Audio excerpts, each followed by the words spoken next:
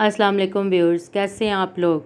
मुझे लगता है समोसों और रोल की शक्ल देख देख के आप तंग आ गए हैं। इसीलिए आज मैं आपके लिए एक डिफरेंट स्नैक्स जो हैं वो लेकर आई हूँ, जो आप बाकी के रोज़ों में, अफ्तारी में भी बना सकते हैं और ईद पर अपने मेहमानों को चाय के साथ बनाकर भी खिला सकते हैं। तो आइए मैं आपको बनाना बताती हूँ कि ये किस तरह बनाएँगे। ये सबसे पहले मैंने हाफ़ के जी चिकन का कीमा लिया है और इसके अलावा मैंने तीन जो है वो प्याज लिए हैं, इनको बारीक चॉप कर लिया, मटर बॉयल कर लिए हैं हाफ़ कप और इसके अलावा ये साबुत ज़ीरा और धनिया है, सूखा धनिया जिसको मैंने मोटा मोटा कूट लिया है, ये सब्ज़ मिर्चियाँ आठ से दस हैं। ये तीन चम्मच लहसुन अदरक का पेस्ट है। मसालों में हमें नमक जो है वो एक टेबल स्पून चाहिए, एक टेबल स्पून मिर्च चाहिए क्वार्टर टी स्पून हल्दी चाहिए वन टेबल स्पून सूखा धनिया है और वन टेबल स्पून गर्म मसाला और काली मिर्च है। जी पैन में मैंने टू टेबल स्पून ऑयल डाला है और इसमें अब लहसुन अदरक का पेस्ट जो है वो डाल के उसको भूनना शुरू करूँगी मैं। इसको हम ब्राउन कर लेंगे। इसमें मैंने ऑयल जो है वो ज़्यादा नहीं डाला है बिकॉज़ ये फिलिंग है और फिलिंग के लिए हमें ऑयल अगर ज़्यादा डाल देंगे तो वो निकलेगा। अब मैंने इसमें चिकन जो है वो डाल कर मैं भूनूँगी। चिकन को हमने अच्छी तरह से भूनना है और इसको हमें चम्मच से हलाते रहना है बार बार, ताकि इसकी मोटी मोटी गुठलियाँ ना बन जाएँ। इसको अच्छी तरह से हिलाएँगे और साथ साथ मसलते रहेंगे। यहाँ तक कि ये सेपरेट हो जाएगा, इसके छोटे छोटे पीसीस सेपरेट हो जाएँगे और इसका कलर जो है वो भी चेंज हो जाएगा। ये इसका कलर जब वाइट हो जाएगा तो ये फिर हम इसमें बाकी चीज़ें, जी, अब इसका कलर जो है वो वाइट हो गया। अब इसमें मसाले डालना शुरू करते हैं और सारे मसाले जो हैं जो मैंने बताए थे, वो इसमें इकट्ठे जो है वो मैं डाल दूँगी। इसको ज़रा सा चलाएँगे और थोड़ा सा इसमें पानी शामिल करेंगे ताकि मसाले जल ना जाएँ। इनको मिक्स करेंगे। अच्छी तरह से चिकन को इसमें भूनेंगे और अभी भी अगर कोई ऐसी हैं सेपरेट करने की ज़रूरत है तो उसको कर लेंगे। अच्छी तरह कीमा भुन गया है और अब इसमें हम पानी शामिल करेंगे और इसको ढक कर रख देंगे कुछ देर के लिए ता, ताकि इसका पानी जो है वो ड्राई हो जाए। अब ये कीमा हमारा कुक हो गया है। इसमें प्याज डालेंगे जो हमने चॉप किए थे बारीक चॉप किए थे मटर डाल लेंगे इसमें।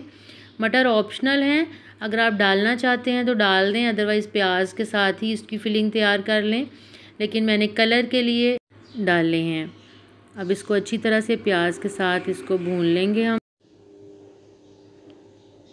अब इसमें मैं सूखा धनिया और ज़ीरा जो था, जो हमने वो डालेंगे इसमें। सब्ज़ मिर्च भी इसके अंदर डालेंगे। और इसको थोड़ी देर के लिए भूनेंगे। दो तीन मिनट के लिए यहाँ तक कि जो प्याज हैं वो अच्छी तरह से सॉफ्ट हो जाएँ। मटर तो ऑलरेडी बॉयल ही हैं और हमारी फिलिंग रेडी हो जाएगी। अब कवर कर देती हूँ एक मिनट के लिए और बस जी फिलिंग रेडी है। अब इसको हम स्क्वेयर्स में फिल कर लेते हैं। रोल्स की रेसिपी में मुझसे किसी ने बाइंडिंग के बारे में पूछा था तो मैं बाइंडिंग बनाना आपको सिखाती हूँ। इसके लिए दो चम्मच मैंने मैदा लिया है और इसमें मैं एक कप जो है वो पानी डालूँगी और अच्छी तरह से इसको विस्क करेंगे।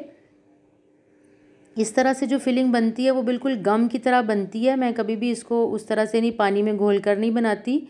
पानी में मिक्स करने के बाद इसको हम दो मिनट के लिए पकाएँगे इसको।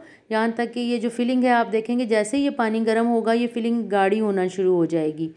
और जैसे ही ये गाढ़ी हो और एक गम की तरह आपको फील हो, इसको बंद कर दें और ये रेडी होगी। ये अब रेडी हो गई है। इस तरह जो फिलिंग बनती है, वो बहुत अच्छी तरह, गम की तरह ही चिपकती है। क्रिस्पी स्क्वायर जो है वो हम रेडी कर लेते हैं। ये मैंने समोसा पट्टी ली है एक और इसके ऊपर ये दूसरी समोसा पट्टी रखी है। इसकी ये और ये साइड जो है ये हम थोड़ी सी बड़ी रखेंगे, बाकी दोनों साइड की नस्बत। और नीचे भी थोड़ी सी बाइंडिंग लगा लेंगे। अब इसमें थोड़ी सी मैं फिलिंग रखूँगी, बहुत ज़्यादा भी नहीं। अगर ज़्यादा रखेंगे तो ये फट जाएँगी। इसमें थोड़ी सी रख कर इसको पहले इस साइड से हम फोल्ड करेंगे। फिर दूसरी साइड पे हल्का सी बाइंडिंग लगा के इसको हम फोल्ड करेंगे। अब जो दोनों साइडें बड़ी रखी थी, उनको फुली हम बाइंडिंग जो है वो लगाकर और इसके ऊपर अच्छी तरह से कोनों से भी लगाएँगे ताकि ये कोने इसके बिल्कुल फाइन हो जाएँ। और अच्छी तरह से इसको हम लगाकर इसको पैक कर लेंगे। इस तरह हमारे बड़े अच्छे से क्यूट से क्रिस्पी स्क्वेयर्स जो हैं वो रेडी हैं। इनको मैं बना लेती हूँ और फिर इसको फ्राई करते हैं हम। जी फ्राई करने के लिए मैं इनको शैलो फ्राई करूँगी ऑयल लिया है पैन में और इनको हल्की आँच पर फ्राई करेंगे। याद रखें, जब भी आप ये बारीक वाली पट्टी जो है वो यूज़ करें तो इसमें हमेशा आँच हल्की रखें और हल्की आँच पर इनको ब्राउन करें। इस तरह से जो हमारी जो भी स्नैक्स होते हैं, वो ज़्यादा देर तक क्रिस्पी रहते हैं। साइडें इनकी पलट देंगे, जैसे ही इसका कलर चेंज होगा।